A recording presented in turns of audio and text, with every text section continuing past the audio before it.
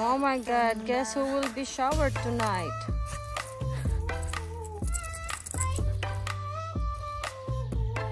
And do you smell good now?